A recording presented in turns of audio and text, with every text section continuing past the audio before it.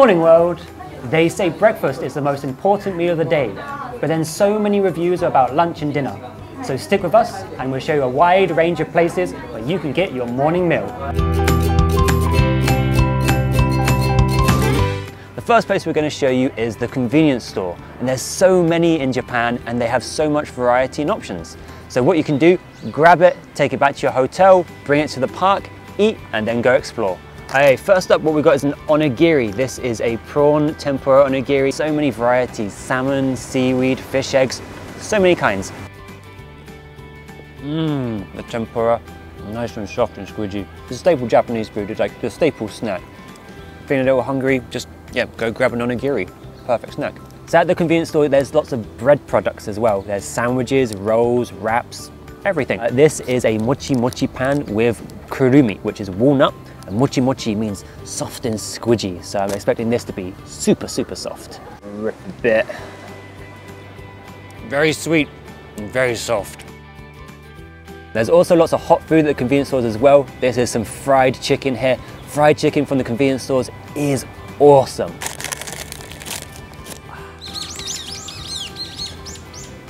Mmm, not exactly breakfast food, but so good.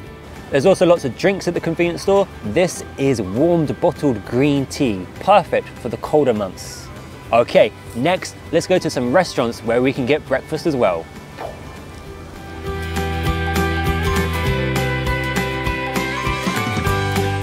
We're at Yayoi-ken as the first stop on our breakfast tour. It's a Japanese-style teishoku restaurant, and for breakfast you can get rice, miso soup, and some sides, and a main which is normally like fish or natto.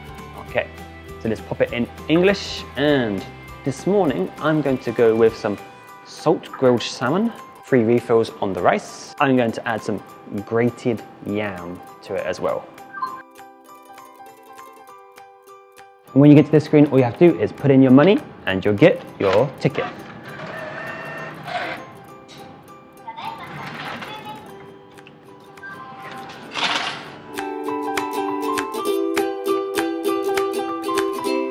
Okay, so I have my breakfast in front of me. Let me show you what I've got.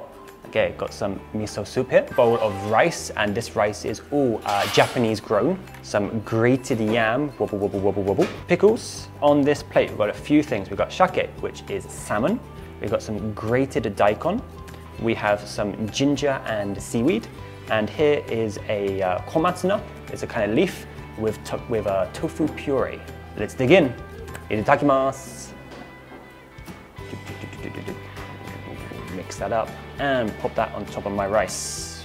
So it's very sticky and a little slimy, as you can see. Mmm. Oishi, oishi, really delicious, really good. So the grated daikon uh, goes very nicely with uh, grilled fish. So let's have some of that with the, uh, with the salmon. Mm. So where the daikon has been grated, where the radish has been grated, it's kind of uh, watery. Mm. Nice.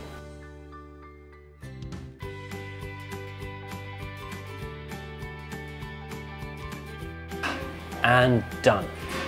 Beautiful. Oh. Okay, time to go to the next place.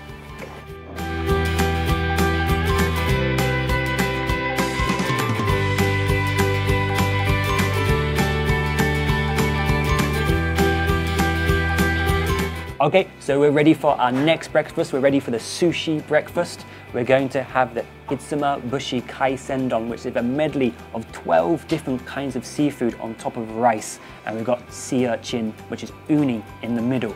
Very exciting, let's try it. So excited. Next breakfast, come on. Hi. Okay. Ah, thank you. The uh, sea urchin is from Hokkaido. Wow, okay, this looks amazing. Okay, now there is a special way that we should eat uh, uh, our, our kaisendon, and we have some instructions to follow. So let's go through them and uh, let's enjoy this. First step is to take some wasabi, mix it up with the soy sauce, and then just pour it over everything. So this bit is ready. Ja. That seafood tastes really nice and really fresh. And there's so many different kinds of it. I've got tuna here and I found some, uh, some salmon. I think this bit is squid. There's a prawn as well, octopus. There's so much in here, so much different stuff. Try a little bit of the uni from Hokkaido. Hokkaido is very famous for its seafood. Oh wow. Oh wow, that's really good. It's a little sweet and mixed in with the soy sauce, which has got a little bit of saltiness.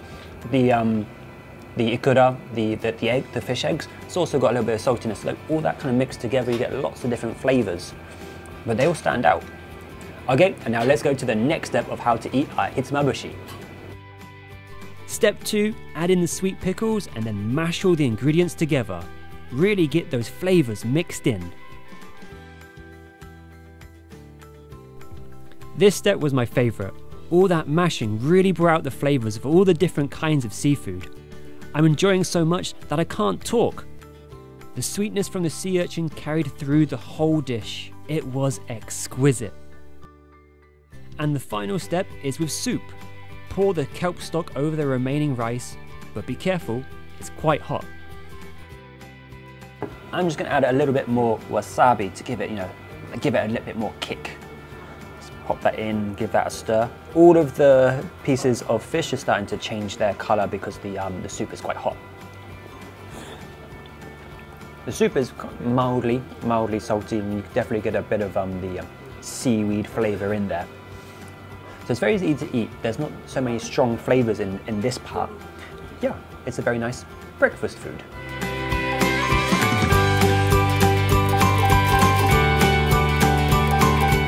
Staple of Japanese breakfast is soup. Now you're going to find Soup Stock Tokyo everywhere in Tokyo. They do a lot of international soups and it's a great place to have a meal any time of the day. At the moment, we're at Odashi Tokyo, which is made by the same people, but they focus on Japanese soups. It's a great place to have breakfast, so let's check out what they've got. Okay, so we have our first meal in front of us here. Let me walk you through what we've got. Okay, first of all, we have two sides. We've got some pickles, and then we have okara. Now it's kind of like a soybean mash. Of course, it's a Japanese meal, so we have rice.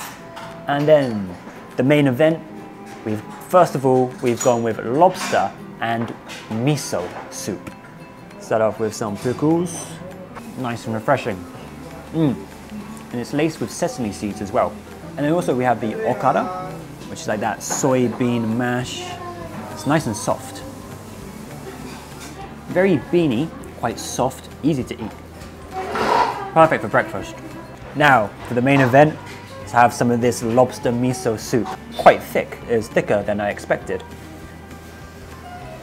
Oh, smells strong. You can definitely start smell the miso. That's not. Oh wow. That first that first flavor was like, okay, that's nice. That's miso soup. And then afterwards, it hit the back of my throat, and I was like, wow, okay, no, that is good miso. So this uh, miso soup is made with two kinds of miso, a red miso and a white miso. The red miso is a Sendai miso, it's a little salty. And then you've got a white miso, which is a little sweet, and that's Saikyo miso. So we got some croutons. Now these croutons have soaked up all of the miso soup as well. Ah, looks amazing, look at that. Ready? Oh. And that saltiness from the miso soup is just kind of sucked in. Okay, and we've got some yam here as well. We've got a nice big chunk of it. Got a nice big chunk of it. Let's have that. So good. It's got that kind of sweetness and a little bit of um, not exactly slime, but it you know, lube. It's like lubricated. It just goes straight down. Okay, and then we've also got this bad boy in the middle. This big uh, it was a white fish and uh, shrimp uh, meatball, quite chunky. But let's let's get into it. Mmm. Oh, that's so good. Fishy, not overly fishy. Soft. What I've noticed about Japanese breakfast, what we've done over this whole this whole episode, is that they're so easy to eat. They're so light and just go down so easily. We also got a chicken rice porridge made with special Hakata Ichiban Dori chicken stock. You get sides of fried soy curd, pickles, sun-dried tomatoes, and little whitebait. Eat each spoonful with a different side to get a different experience. Okay, let's go to the next place.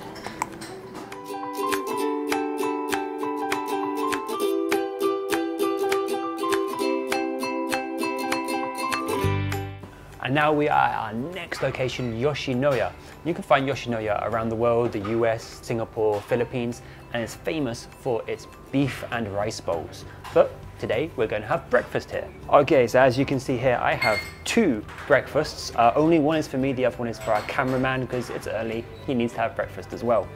So the one that I have here is natto, which is fermented soybeans. So this isn't to everyone's taste, but I love it. I love it. And then this one here is the shirasu teishoku, which is uh, whitebait. It's the little fishies. So as you can see here, we both have uh, a raw egg. They do go through a special process, so they are safe to eat. Stir them up, put them on the rice, eat them just like that. Lots of protein. Excellent. Okay, and itadakimasu. Okay, so what we're going to do first is put all the, uh, the stuff on the natto. We have some uh, tare, some sauce here to put on the natto. And then next we have some mustard, which has to go on there as well.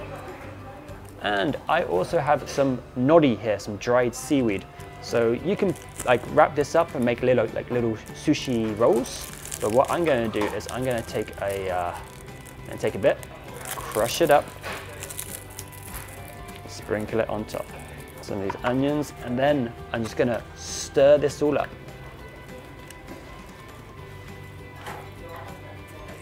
Oh, look at that. Look at that. Natto isn't for everybody, but uh, it took me nine years to get to get used to the taste, but now I, I love it and have it every single day. Mm. It's no difficult to explain the taste of natto. It's fermented soybeans, so it's got quite a very strong taste and a very strong smell. Um, when you come to Japan, I definitely suggest you at least try some, just uh, just once. If you like it, then great, because it's really healthy as well. Uh, it reduces cholesterol and reduces your risk of uh, heart disease as well. But if natto isn't your thing, then there's also ham and eggs, um, some little beef bowl and fish as well. So there's always something for you if you're at Yoshinoya.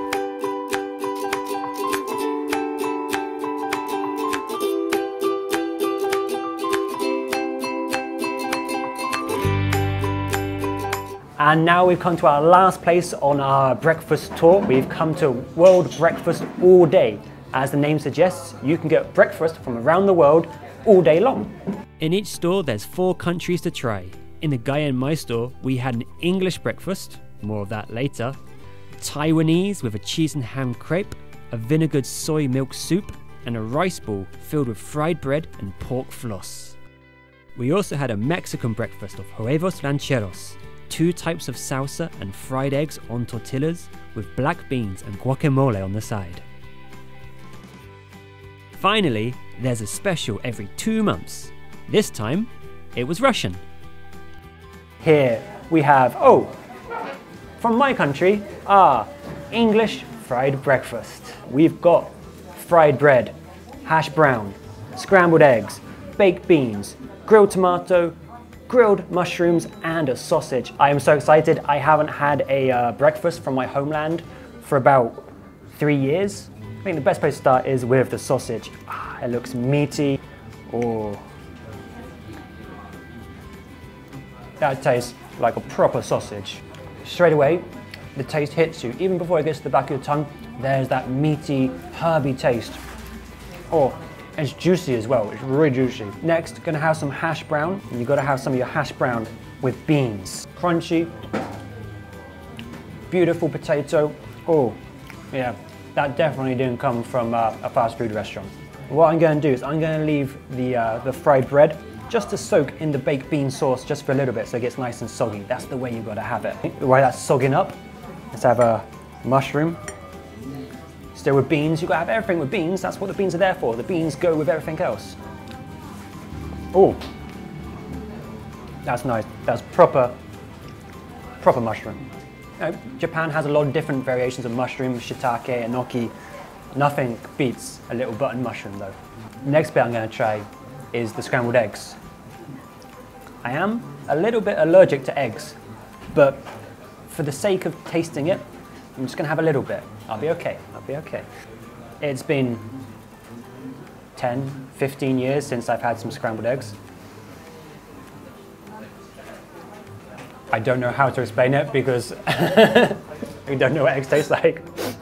So by now, I think the, uh, the fried bread must be a little bit soggy from the bean juice. So let's, uh, let's try some of that.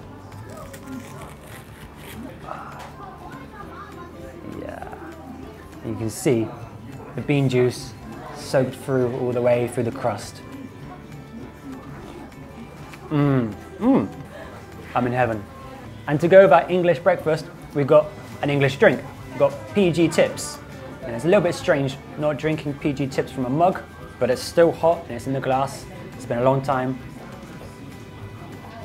Ah, tastes like home. Well, I am stuffed. So many breakfasts, and if you have any more recommendations for breakfasts in Japan, Tokyo, or elsewhere, let us know, drop us a comment, and as always, like and subscribe. Okay, we'll see you in the next episode. Cheerio and sayonara.